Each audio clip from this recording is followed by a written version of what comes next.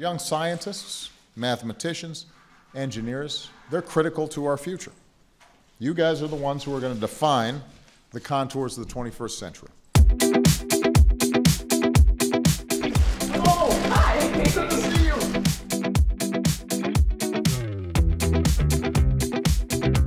This is our fifth White House Science Fair.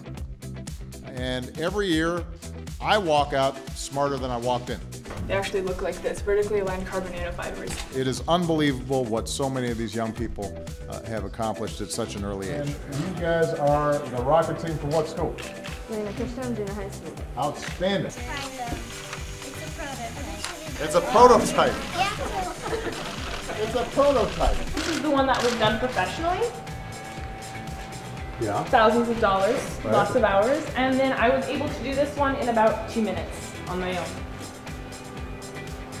Even better. We've got uh, Sofia uh, Sanchez uh, Maes, uh, and she's helping to bring the world closer to using algae as a clean, renewable, and even inexhaustible energy source. So what I'm using this algae to do is purify wastewater and create energy.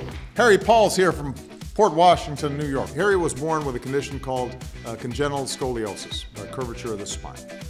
Uh, so he designed a new type of spinal implant. So Nikhil uh, Behari is here from Pennsylvania. Where's uh, Nikhil? There's Nikhil. He is uh, he's a freshman, right, uh, in high school.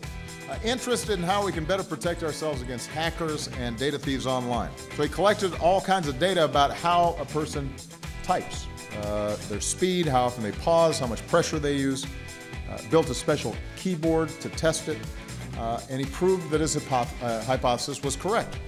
That even if somebody knows your password, they don't necessarily punch it in exactly the way you, do. A big round of applause. Go take a look at their outstanding stuff. It's really great.